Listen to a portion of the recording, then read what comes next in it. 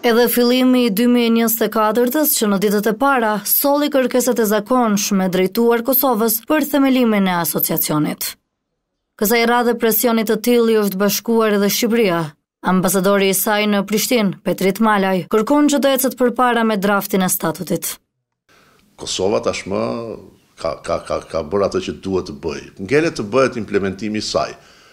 Kuptohet, aleati ynë Shtetet e Bashkuara, Kuinti, të gjithë e kanë thënë dhe e thonë fort që kjo ky asociacion nuk do të ketë kompetenca ekzekutive dhe nga ana tjetër duhet patjetër të realizohet duke shkuar në Gjykatën Kushtetuese, duke marrë vërejtjet siç po ndodh. E kërkesa të tilla, pritet se do të jenë të vazhdueshme këtë vit. Bile sipas analistit politik Visar Xani, Asociacioni do të jetë në krye të agjendës së dialogut, që mbështetet nga diplomatët evropianë dhe ata amerikanë.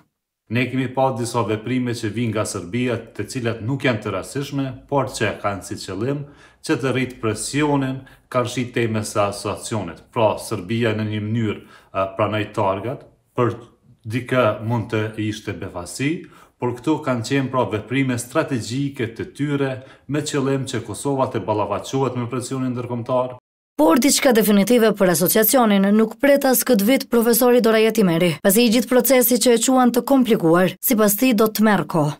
Është një procedurë tepër e komplikuar politike dhe institucione të tjera të cilat përfshihen në këtë proces si Gjykata Kushtetuese mund të marrë edhe një kohë për të dhënë një përgjigje definitive në raport me atë se si është dizajnuar kjo statut. Sa i përket draft statutit, për të cilin ka një dakordim në Bruksel, Kurti pati deklaruar se është shkruar me kujdes ndaj germës së Kushtetutës, më shumë se sa frymës së saj. Megjithatë ai tha se në draft parashihet që ky dokument të shkojë për shqyrtim në Gjykatën Kushtetuese të Kosovës.